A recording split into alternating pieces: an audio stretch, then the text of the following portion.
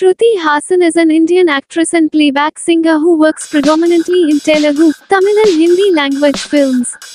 Born in the Haasan family, she is the daughter of actors Kamal Haasan and Sarika Thakur.